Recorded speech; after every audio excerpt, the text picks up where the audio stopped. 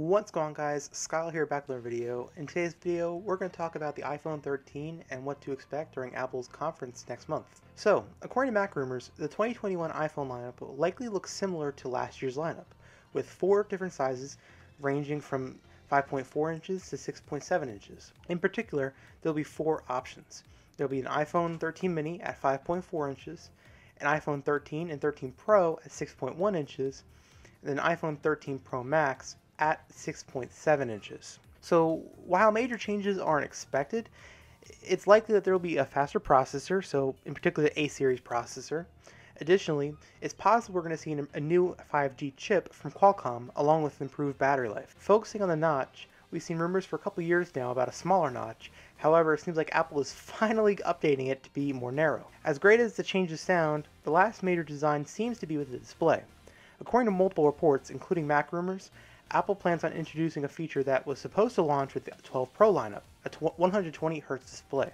The other interesting feature that's probably going to make its way to the iPhone 13 Pro lineup is new camera upgrades. So, according to Bloomberg, Apple is preparing to make iPhones with pro cam focused cameras with video updates. So, in particular, you know how we have the portrait mode photos where it blurs the background of a photo? It looks like, according to multiple reports, it's going to Apple's going to follow that lead with the videos now. So, when you film a video, there's an option to blur the background, which is pretty great because that's quite professional overall.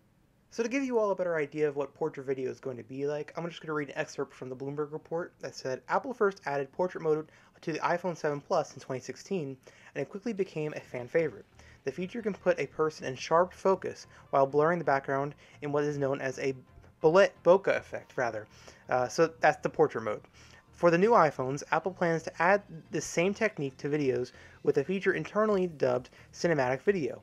Like with still photos, the iPhone's depth sensor will create the effect and allow users to change the amount of blur after recording video.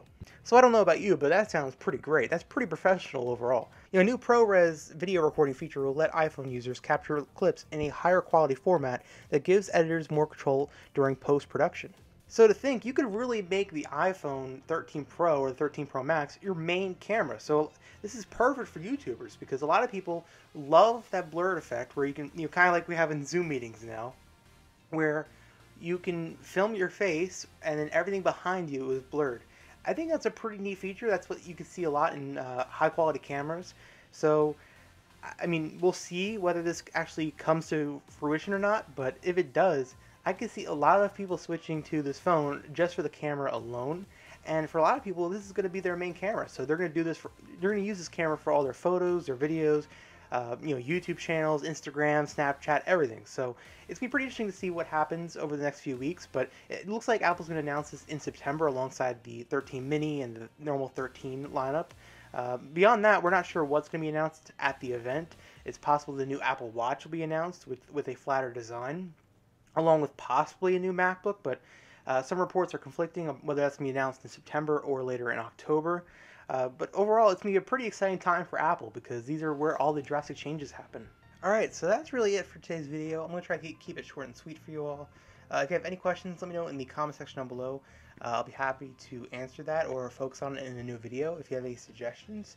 Uh, but again, if you like this video, be sure to give it a thumbs up. It helps the channel out a ton.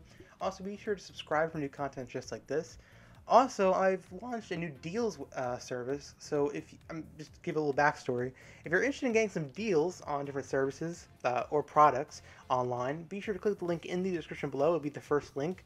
Uh, it's called Deals Pass. It'll it's a pretty much a summary of all the greatest deals that you could find online. Uh, but yeah, I would really appreciate it because I'm trying to grow that a ton. But uh, yeah, if you have any questions or suggestions, let me know. And I hope to see you guys in the next video. Peace.